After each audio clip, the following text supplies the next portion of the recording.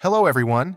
In this video, I'll show you how to use the QBitTorrent Search plugin to search and download torrents directly within QBitTorrent without needing to visit multiple torrent websites. By default, QBitTorrent does not have a built-in search engine. To use this feature, you need to activate and install search plugins. First, open QBitTorrent. In the menu bar, click on View, then select Search Engine. This feature requires Python to run the search function. If Python is not installed, you'll see a notification prompting you to install it. Click Yes, and QBitTorrent will automatically find the latest compatible version for your operating system. Click Yes again to allow the installation, then wait for the process to complete. If you prefer to install Python manually, check out the Python installation tutorial linked in the description.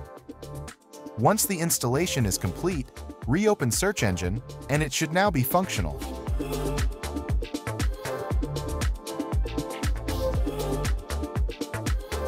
Next, to expand the list of search sources, click on Search Plugins, then select Check for Updates.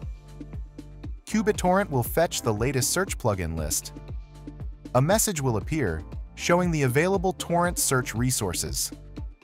If you want to add a search plugin manually, click Install a new one, then enter the plugin URL or load a plugin file from a trusted source. For example, you can find plugins on GitHub or QBitTorrent community forums. Once the update is complete, go back to the Search tab. Click on the magnifying glass icon, then enter your search keyword. For example, I'll enter the name of a movie and press Enter. QBitTorrent will display a list of available torrents from different sources.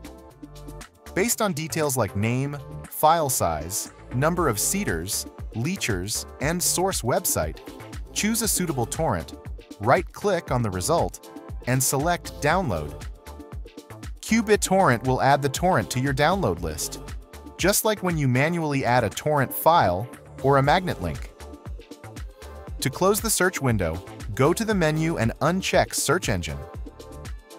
Now you will see the torrent downloading in QBitTorrent. That's it! Now you can search and download torrents directly within QBitTorrent without opening a web browser.